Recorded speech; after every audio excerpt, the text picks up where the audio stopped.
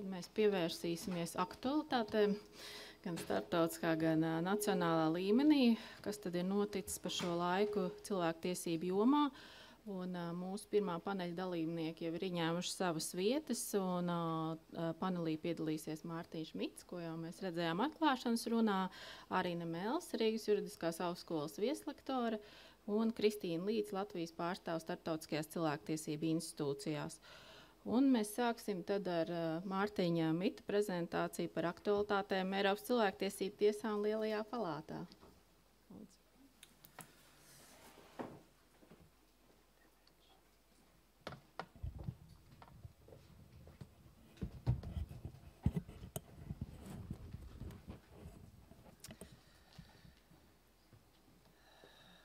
Tā, nu kā ierasts, es uh, uh, sākumā nedaudz paskatīšos uz, uz cipariem, kā Eiropas cilvēktiesību tiesas darbs šobrīd izskatās, un tad uh, sīkāk pievērsīšos trīs uh, lielās palātas uh, šī gada spriedumiem, un atkarībā no tā, cik daudz laika paliks, varbūt uh, vēl vienai palātas lietai.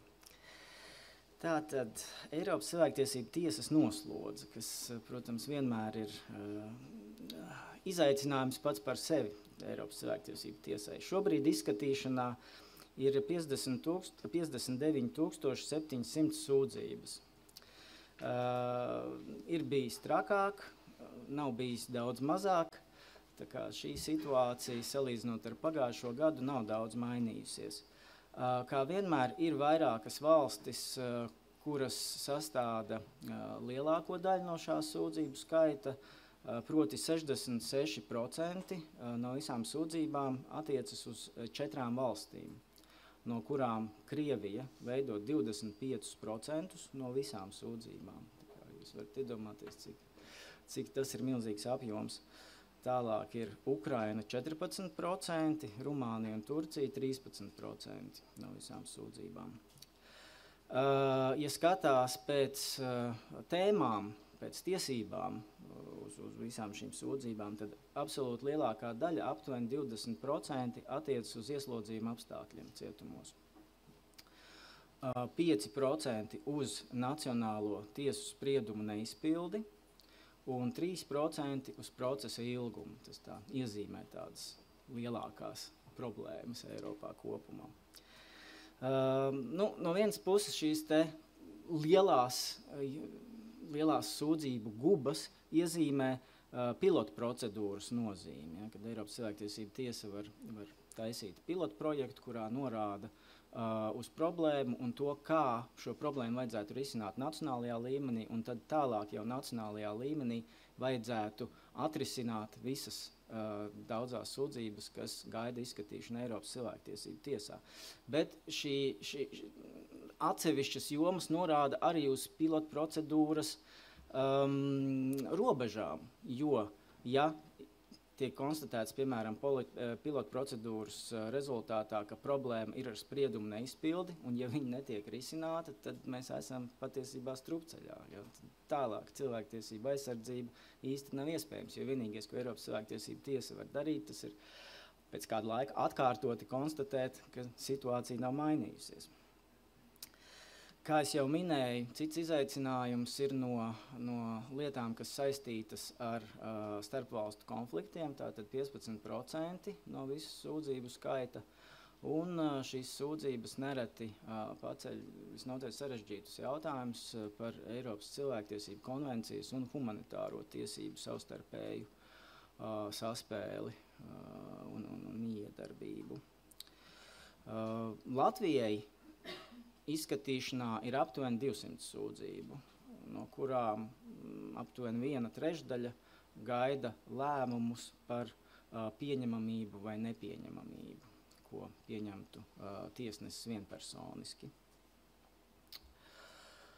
Tālāk pāriesim pie uh, diviem jautājumiem, vēl, kas ir saistīti ar, ar tādiem procesuāliem jaunumiem Eiropas cilvēktiesību tiesā. Es jau pagājušajā gadā minēju, ka uh, Pirmo reizi tika uzsākta procedūra par Eiropas cilvēktiesību tiesas spriedumu neizpildi. Tā, tas bija Mamādova lieta pret Azerbaidžānu, kur cilvēktiesība tiesa bija taisījusi spriedumu un konstatējusi, ka uh, iesniedzējiem ir pārkāptas personas tiesības uz brīvību.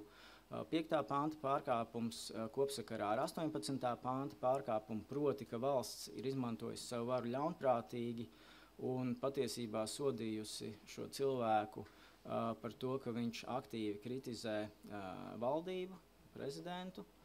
Uh, un uh, ministru komiteja pati tiesas spriedumā neko uh, neteica par to, vai viņš būtu jāatbrīvo no apcietinājuma vai nē, konstatēja tātad pārkāpumu un lēma par kompensācijas piešķiršanu.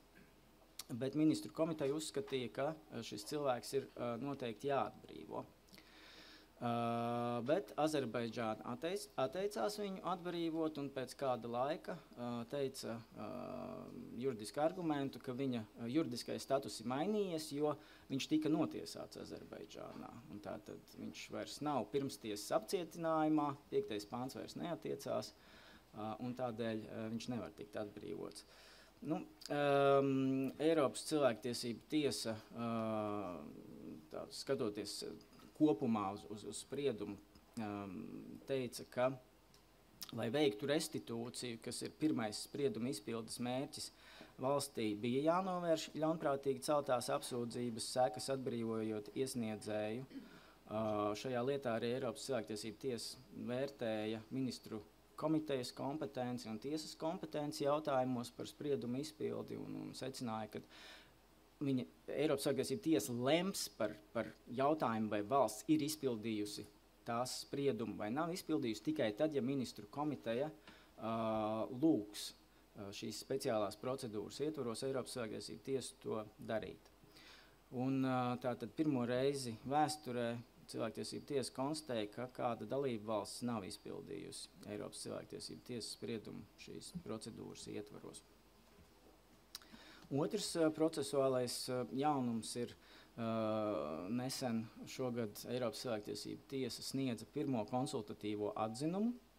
Tātad 16. protokols paredz, ka augstākās valstu tiesas var uzdot arī jautājumu cilvēktiesību tiesai līdzīgi kā prejudiciālā nolēmuma procedūra Eiropas Savienības tiesā, kur tātad Eiropas cilvēktiesība tiesa sniegtu atbildi vai uh, attiecīgajā situācijā tas, ko vaicā dalību valsts augstākā tiesa, vai tas ir samērojams ar konvencijas prasībām vai nav samērojams ar konvencijas prasībām. Un, un šajā pirmajā lietā, ko uzsāka Francijas kasācijas tiesa, viņi vērsās Eiropas Savienības tiesā ar jautājumu par to, vai Francija atļaujot reģistrēt par bērna māti tikai bioloģisko māti, kas šajā lietā ir surrogāta māte, bet ne personu, ar kuru bērns dzīvos kopā, kamēr ļauj reģistrēt bioloģisko tēvu šajā precētajā pārī, ar, ar kuru bērns dzīvos kopā, nav pārkāpusi savas rīcības brīvības ietvarus. Un vai iespēja šai precētajai, bet ne bioloģiskajai mātei vēlāk adoptēt bērnu, nodrošina atbilstību Eiropas Savienības konvencijas uh, 8. panta prasībām tiesības uz privāto dzīvi. Uh, Eiropas cilvēktiesību tiesa uh, sniedza atbildes uz diviem šiem jautājumiem, ka Pirmkārt, bērnu tiesības uz privāto dzīvi prasa, lai likums sniedz iespēju juridiski atzīt bērnu vecāku attiecības ar nebioloģisko māti, ar ko bērns dzīvos kopā. Taču šādai juridiskai atzīšanai nav obligāti jānotiek ar ierakstu dzimšanas reģistrā. Citi veidi, kā piemēram adopcija, arī atbilst bērna interesēm, ja tā notiek nekavējoties un efektīvi. Tātad Eiropas cilvēktiesība tiesa šīs procedūras ietvaros nevērtē, vai ir noticis konvencijas pārkāpums, bet sniedz atbildi uz uzdotajiem jautājumiem.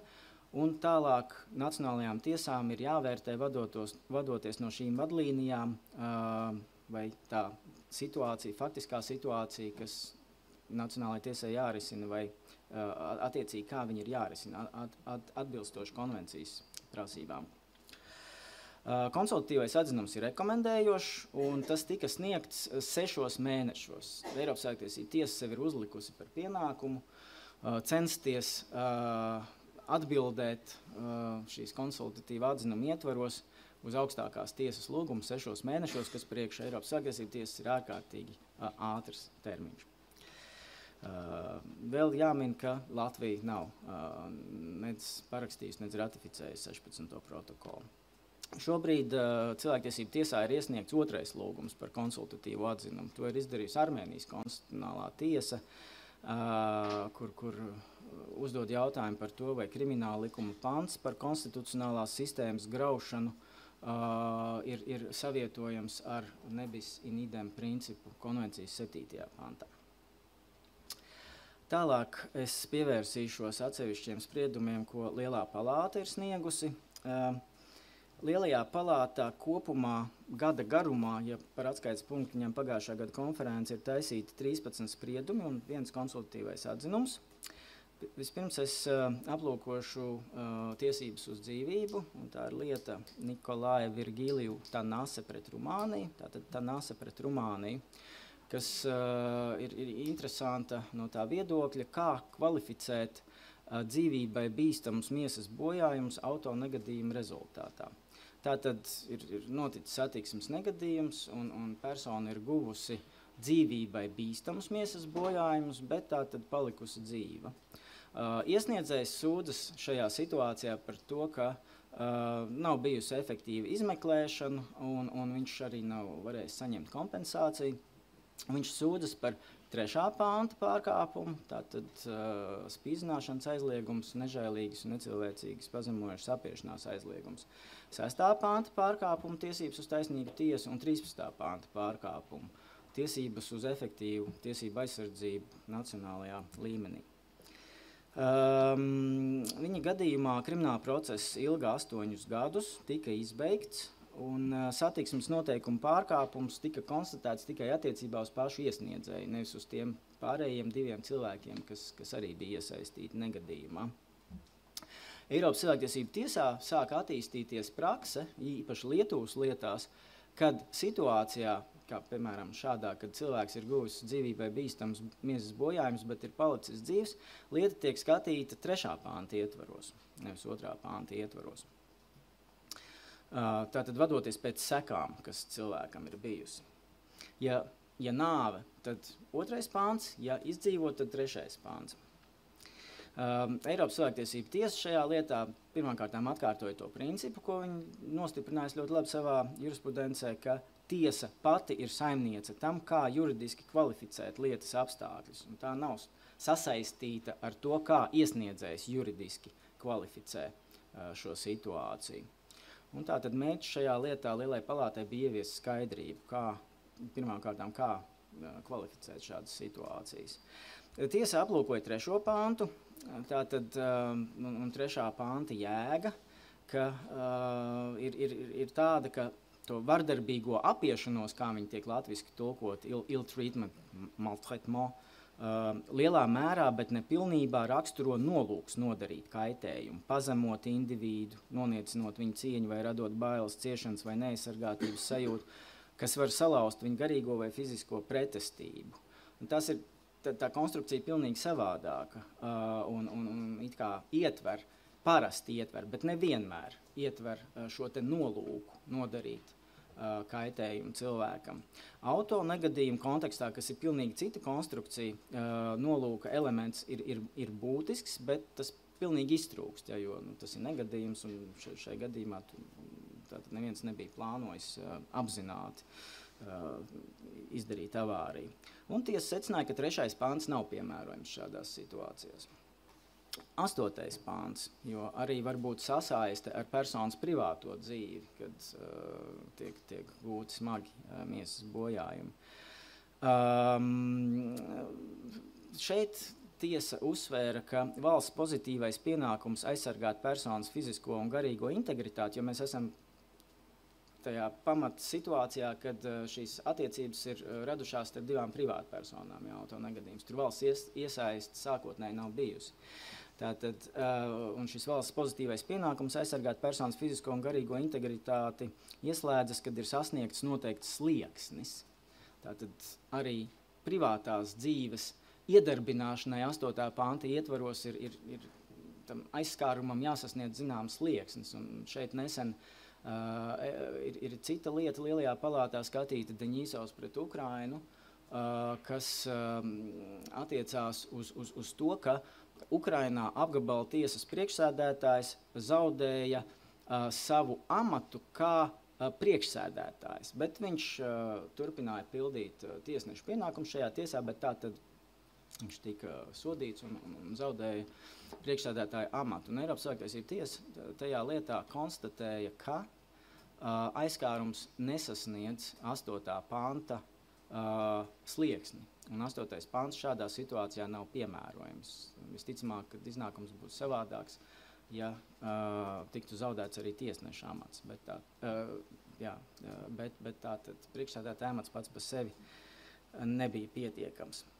Uh, Tanāsas lietā, uh, 8. panta ietvaros, Eiropas Savienības tiesa arī uh, konstatēja, ka privātā dzīve neaptver publiskās uh, aktivitātes. Uh, un autovadīšana ir publiska aktivitāte. Tā nav situācija, kur valsts atbildība arī būtu kaut kādā veidā iepriekš iesaistīta, kā piemēram policijas vardarbības gadījumā vai veselības aprūpas gadījumā valsts slimnīcā un ka šajā uh, gadījumā arī nepastāvēja kāda īpaša uh, iesniedzēja miedarbība uh, ar, ar, ar, ar citiem cilvēkiem, tādā socializācijas jomā, kā parasti Eiropas Savienības tiesa nodibina šo te privātās dzīves ietvaru, skatās uz to, ka cilvēkam ir, ir, ir iespēja socializēties ar citiem. Uh, Nu, un, un skatoties uz šiem aspektiem, cilvēktiesība tiesa secināja, ka arī 8. pāns nav piemērojams šādā situācijā, avārijas, kad cilvēks ir gūs miesbojums, bet izdzīvojis.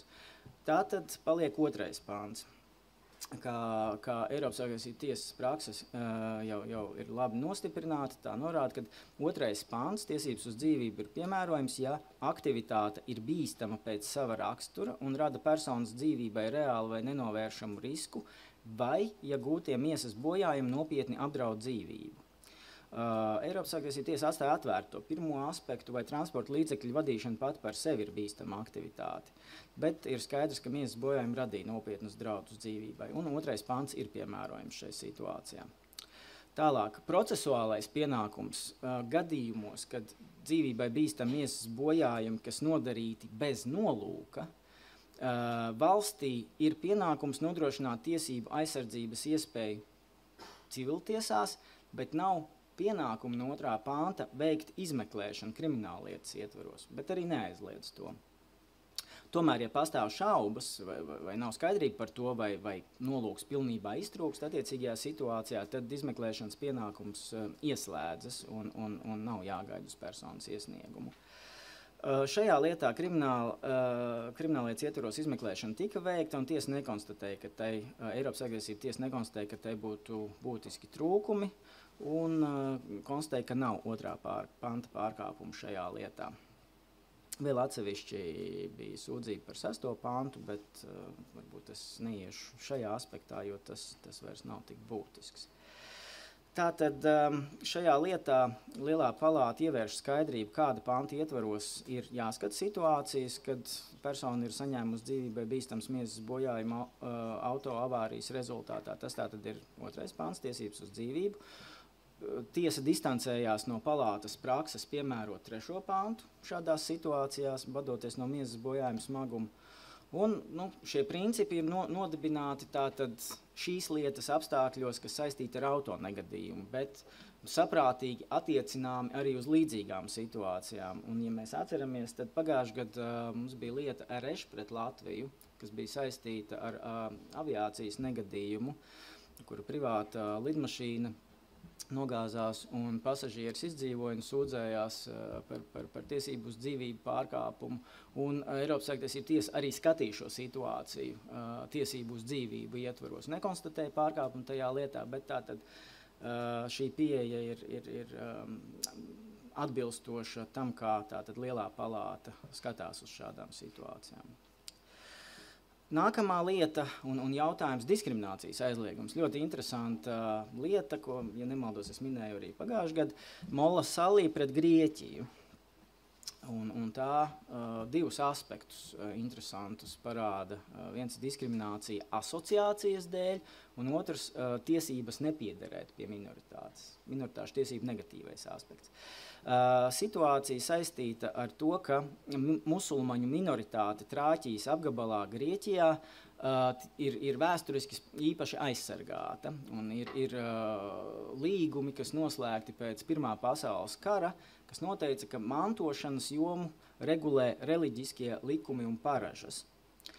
Uh, šīs te musulmaņu uh, minoritātes. Un, uh, pēc, pēc musulmaņu likumiem tātad sieva manto no vīra vienu ceturto daļu, ja ir arī vīram māsas.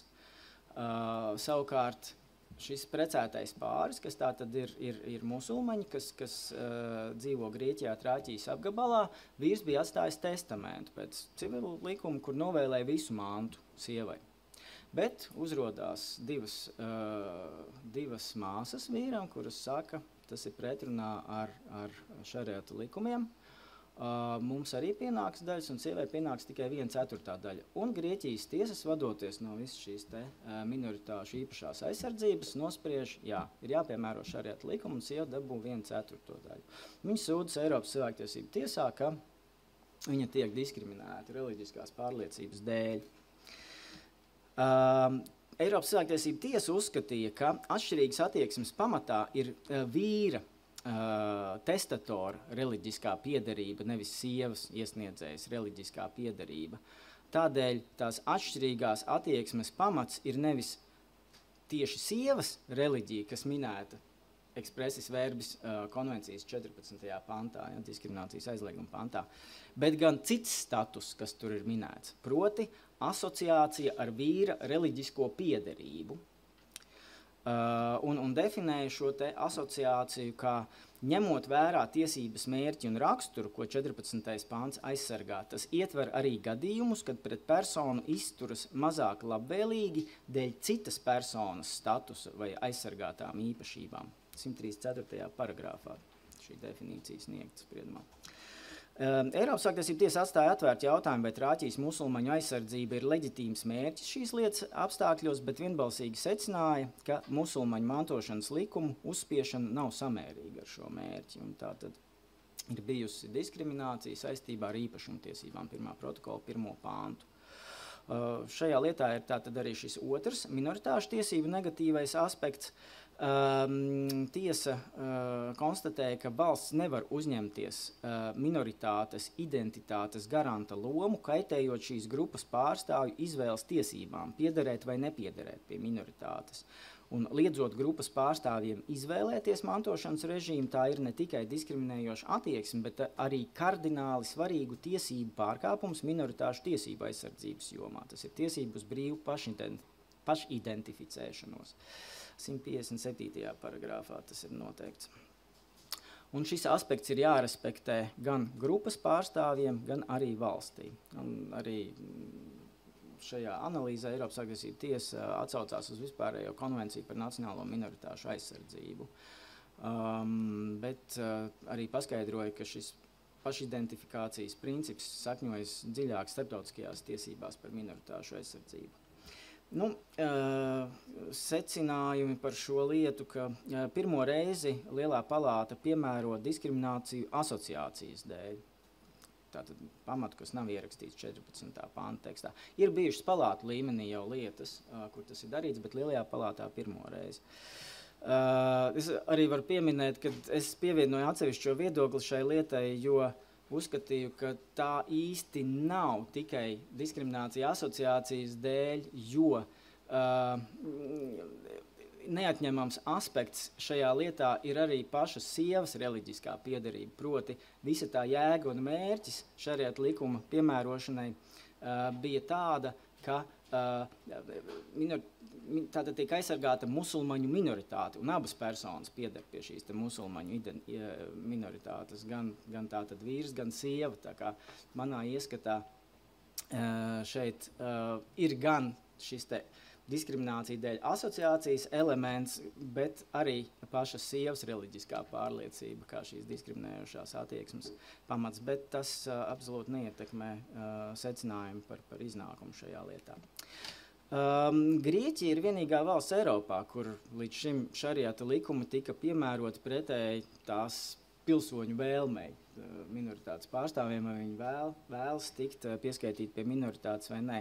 Arī Lielbritānijā vēl aizvien ir, ir jomas uh, privāto civilo tiesību jomā, kā, kā mantošana, piemēram, kur arī tiek piemērots šariata likumi minoritāšu pārstāvjiem, musulmaņu minoritātei, bet tas tiek darīts tikai pēc minoritātes pārstāvju pašu brīvas izvēles.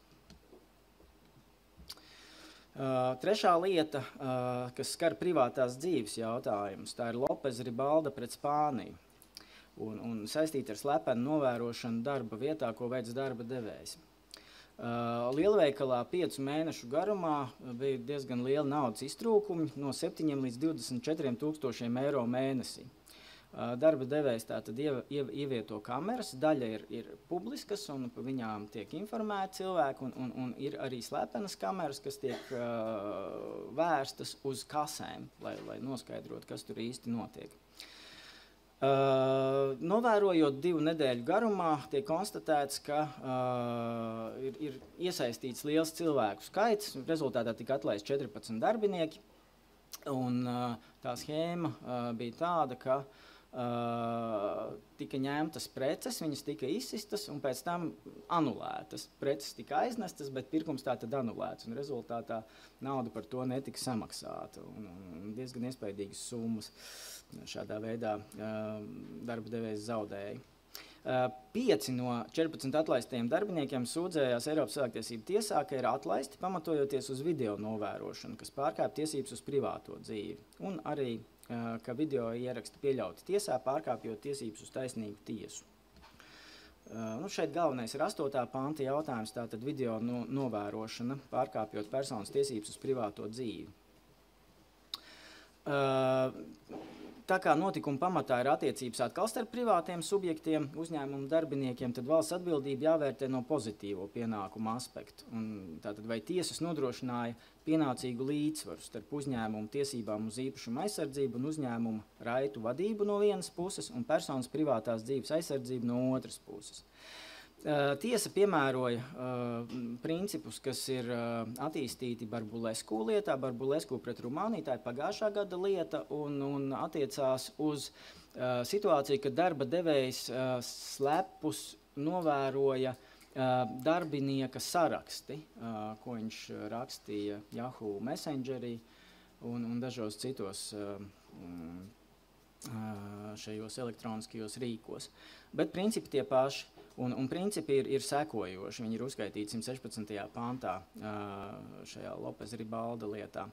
Pirmkārt, vai darbinieki bija iepriekš brīdināti par video novērošanu, kāds bija novērošanas apmērs un iejaukšanās pakāpe privātajā dzīvē, vai darba devējam bija leģitīmi iemesli novērošanai un, un, un tam apmēram, kādā tā tika veikta, vai novērošanu va, nevarēja veikt mazāk iejaucoties privātajā dzīvē, kādas bija novērošanas sekas, jo īpaši kāds bija tas pielietojums novērošanas rezultātā iegūtajam materiālam, vai, vai tos pielieto piemēram disciplināru procedūras ietvaros, vai arī tie tiek paziņot visai pasaulē un, un, un tam līdzīgi.